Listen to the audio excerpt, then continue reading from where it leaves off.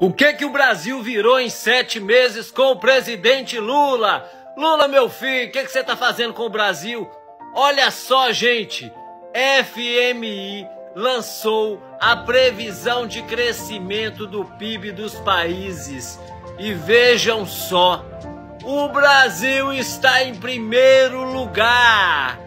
Lula, com seu jeito de governar, com a sua competência, com toda aquela equipe que ele escolheu para ajudá-lo no governo, fez o Brasil se destacar no mundo.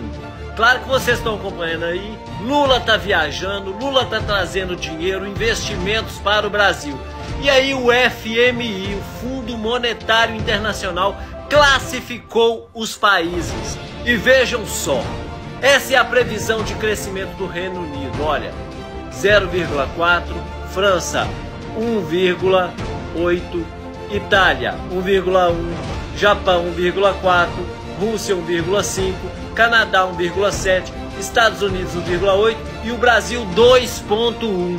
O Brasil está na lista do, dos países que mais vai crescer no mundo inteiro.